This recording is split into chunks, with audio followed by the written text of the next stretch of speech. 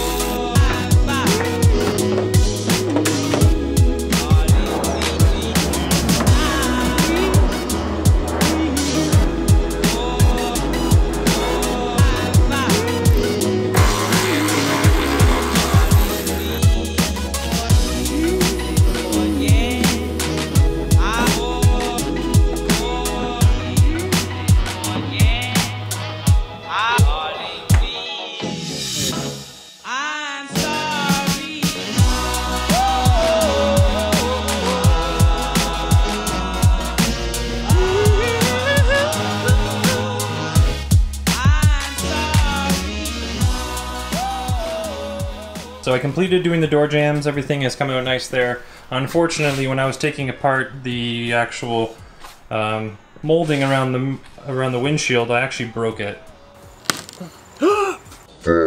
I broke the windshield in two spots. One right here, nice hairline fracture that's quite long, and actually over there on the other side. That was the first spot that I broke over there. So, you know, I tried to save this windshield, but clearly I did a poor job with that. So I got to get this replaced, which is just to be an added cost to everything.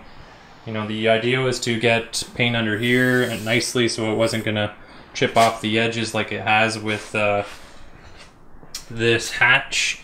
You can see right here, um, the previous person who actually painted the car, you know, taped it, and this has come over time to expose. So, fortunate that this happened, but other than that, like I got no choice to buy a new windshield, so I'll get that replaced. Another added cost, unfortunately, but you know, you can't obviously pass the safety with a crack this long, or the same thing on the other side. So, anyways, uh, moving on from that, uh, this part has to actually be repaired as well. This is a kind of where water pooled and caused some rust damage in here. Um, I'm thinking I'm just going to clean this out nicely, convert this, and then still prime and seal over this. Actually throw that like epoxy primer on there so it can cover it, and then do body work over top of it. And I think it should actually stop that corrosion and rust from continuing and developing.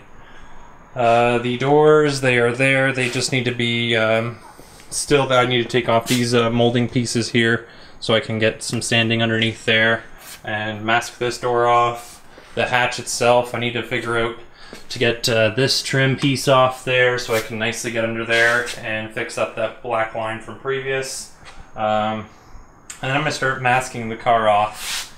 And uh, first, I'm obviously going to give it a thorough wipe down a couple times until I don't get any dust on the cloth. And then I'm to start back taping the doors, the hatch, and uh, kind of start getting this thing ready for some primer. So I'm going to keep on working at things. I got still a lot of cleaning up to do in here. Get this cleaned out, get that sanded in there, clean this up, and then we'll go from there.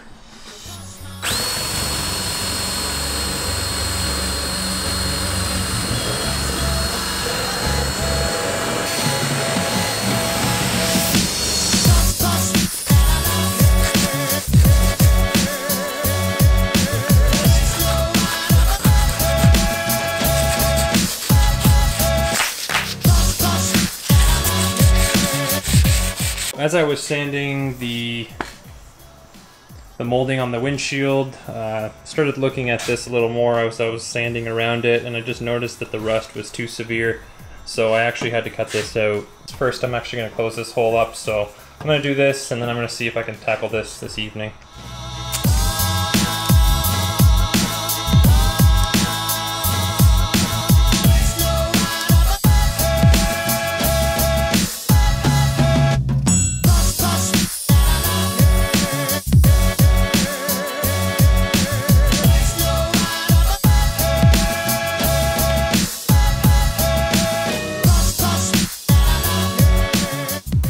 So I've been working ahead on grinding this little piece to kind of fit in this spot. Still a little bit bigger than the hole, but first I'm gonna grind a little bit more off these edges and I'm gonna weld a uh, bolt onto this so I can use it to kind of hold it in place so it doesn't fall through. Uh, with this section here, I'm actually gonna go to the junkyard tomorrow and cut this out. This is just gonna be too much work fabricating something off the top of my head with the materials that I have that I don't think it's gonna come out as nice unless I cut this out nicely and weld in a replacement piece that I'm gonna get off another existing Honda that I'll find.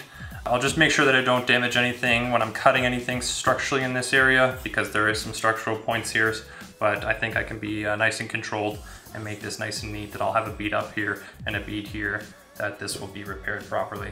I still have a little section here at the top that I have to grind out.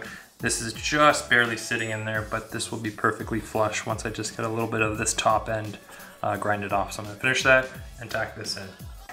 And there we go, that thing is just perfect.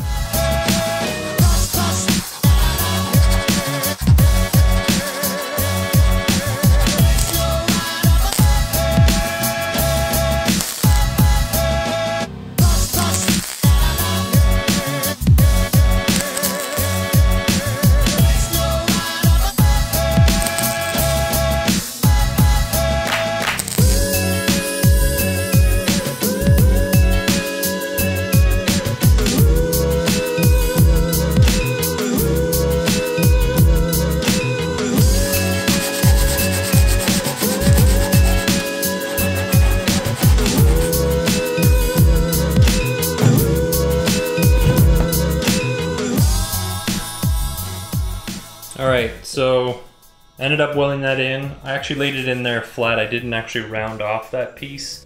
Uh, tacked everything in, welded it down, and then grinded it down as well. And uh, pretty happy with the results so far. Uh, this little section here is going to be quite the challenge tomorrow, but I'll manage to get that done. Uh, other than that, guys, that's probably going to wrap up this episode. Still a couple bodywork things to do, but nothing too long that it shouldn't really slow down the progress of getting primer on the car. The doors, jams, everything other than that small section on the hatch right below the window where the molding is, that still needs to get sanded down. Other than that, things need to get a nice cleaning and then uh, masking and taping everything off and making sure I don't get any overspray inside the car. And I think I'll be ready for primer. So primer goal is for this weekend, uh, hoping everything goes well. So I want to thank you guys again for watching and I'll see you in the next one. Goodbye.